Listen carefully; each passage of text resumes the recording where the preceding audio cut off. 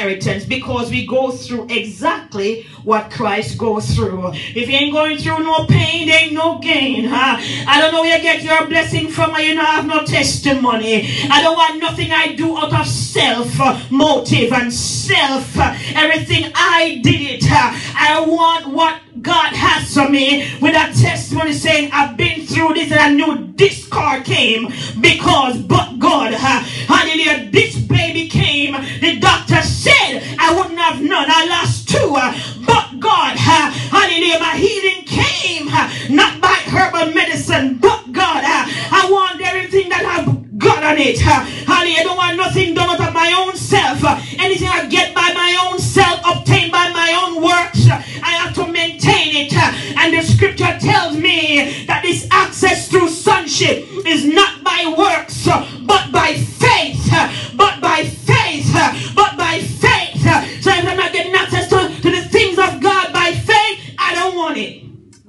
If you're not coming with a test, you're not coming with a price have to pay, you're not coming with some trials, I don't want it because it says I identify with him indeed as sharing his suffering so that we may also share in his glory. Hallelujah. Hallelujah.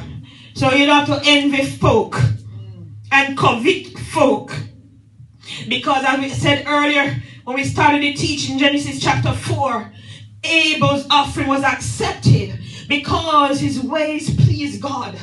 Hallelujah. When you have access to sonship, you do everything to strive to please God. And if you please God, hallelujah, the, the, the blessings uh, is unsurmountable. The blessing is limitless.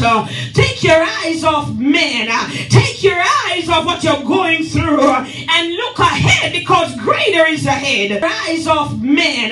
Take your eyes off what you're going through and look look ahead because greater is ahead. Hallelujah. Take your eyes off how people treat you and handle you. And remember that when you wake up in the morning tomorrow, say, What's next, Papa? What's next? Hallelujah. Because His Spirit touches your spirit and confirm who you really are. Religion not going to help you, baby.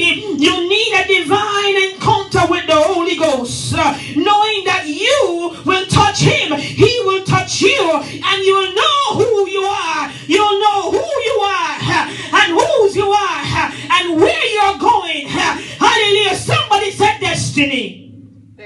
Destiny. is in sonship. Hallelujah. Because we go through exactly what Christ go through.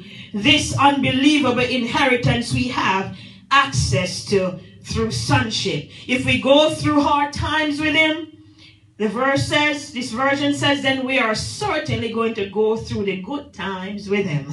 Hallelujah. If you're going through hard times right now, hold up.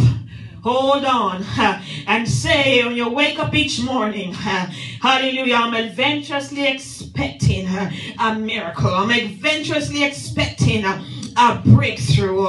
I'm adventurously expecting a, a turnaround. I'm adventurously expecting my divine helpers to come. I'm adventurously expecting a, a change in my life. I'm adventurously expecting a, a greater dimension spiritually in God. All you gotta do is say, hey, daddy, what's next?